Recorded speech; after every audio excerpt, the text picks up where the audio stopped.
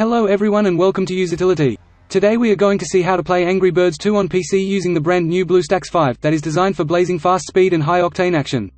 We will be able to easily download and install Angry Birds 2 and enjoy the game on our Windows PC with keyboard, mouse and big screen thanks to BlueStacks 5, which is the Android emulator that we recommend to play Angry Birds 2. So without further ado, let's get to it. Before anything else my friends, the first thing to do is to open our favorite internet browser. We selected the one we prefer. Let's continue, going to the current URL that I have highlighted in green. There you are seeing it on the screen of the PC. You don't need to type the URL, because I provided a clickable link in the description of this video in the first main comment. We landed on this page on our own website of Usitility, in which we find here a in-depth demonstration on how to download and install Angry Birds 2 on PC. We search lower tad and then click on the Download Game on PC button. After clicking on that link, we reach the site of BlueStacks. No panic, it is simply the Android emulator that we will load to play Angry Birds 2 on PC. As you can discover from here we access some advantages of preferring using that emulator. Now we are on the way to proceed to download the Angry Birds 2 by simply clicking on this button play on BlueStacks that I have marked in green. We then click on that button. Of course, the download step starts and ends immediately. Voila, this is the download. It is an executable file.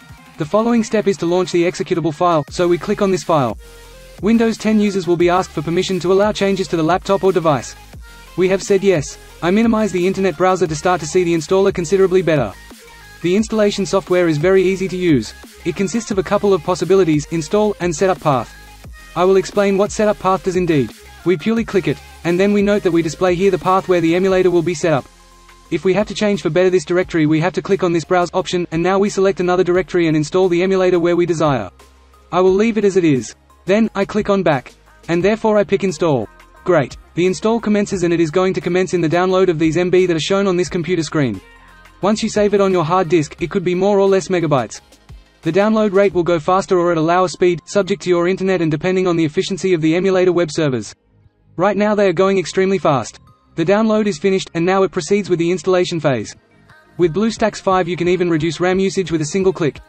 Especially useful if you ever face performance-related problems. In addition, you can activate Eco Mode to enjoy 87% reduced CPU usage, 97% reduced GPU usage and easier multitasking. As you can see, BlueStacks 5 is built to provide stability and performance during long gaming sessions. The installation has already finished for me. At present, the emulator happens to be started automatically. As you can discover, at the bottom of the screen, we have a progress bar which will advance to the right and once it gets into the ending, the emulator is launched for the very first time. The reality is the emulator is already launched there for the very first time. Before we carry on, as you can observe, it has made a couple of software icons there on the PC desktop. The BlueStacks and BlueStacks multi-instance. Note that the BlueStacks app icon is the one we're concerned about. Every time we are planning to start Angry Birds 2 on the desktop or laptop, we double-click on this particular app icon and therefore launch the emulator.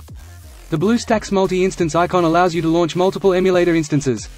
And with BlueStacks 5's new improved multi-instance manager in eco mode, players can run more game instances faster and with less lag.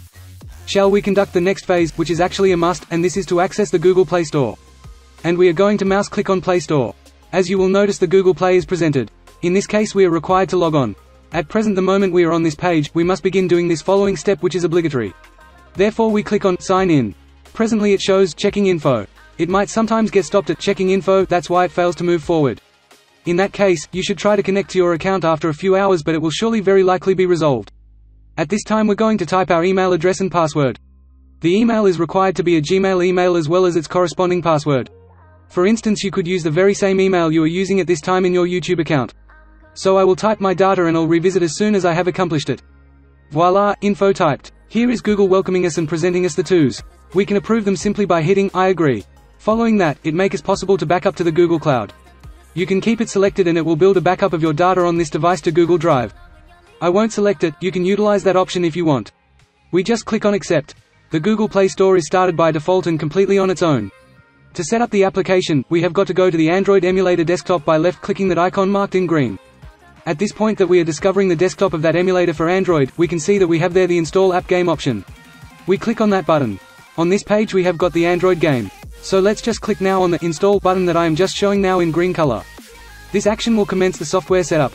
At this moment it is going to download on your PC and set up the game app, it normally takes some time or it might possibly be very fast. It all is going to depend on the internet connection. It's as of now finished installing. Now, let's go to the emulator desktop by simply clicking the following button that I'm emphasizing in green, if you want to launch Angry Birds 2 for the very first time. We're currently on the emulator desktop, and then we are preparing to click that fresh Angry Birds 2 software icon that has been provided. That Android game is launched for the first time. Here we end up with it, I can also click anywhere on the screen and also make use of the keyboard. I am going to talk about the sound level of that emulator. This is right here. We have the icon of higher volume along with the icon of lower volume, this way we are not going to count on the Microsoft Windows volume to increase or decrease the sound of the emulator. And also to take pleasure in the experience to the greatest, we can activate the large monitor, for which we have two choices. This one is actually the very first one, we mouse click on this app icon which I am identifying in green color.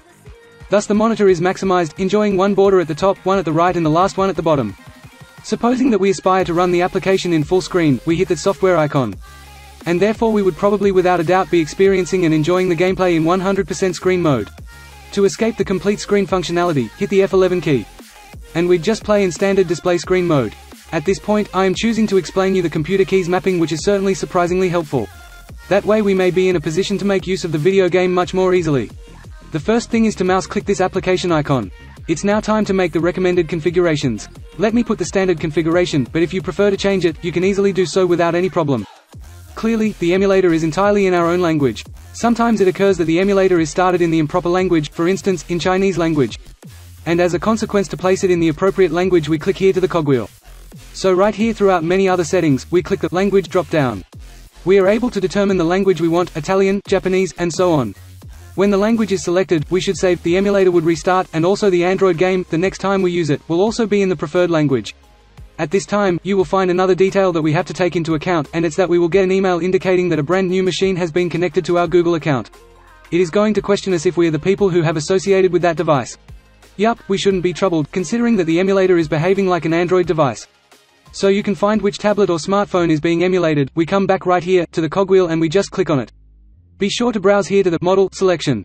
And now we see that the emulator is simulating a Samsung cell phone. And so we're going to receive an email saying that a new Samsung device has been connected to our Google account. This is it guys, so much for the video user demo.